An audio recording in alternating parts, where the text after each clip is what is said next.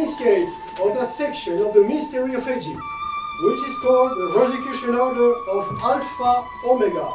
assist me to open the hall of the Neophytes of the Hathor Temple number 7 in Paris.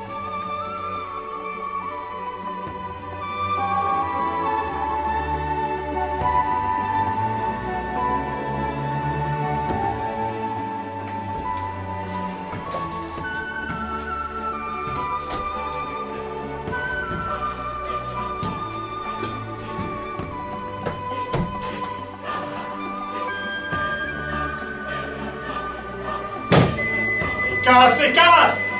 Esti bebelón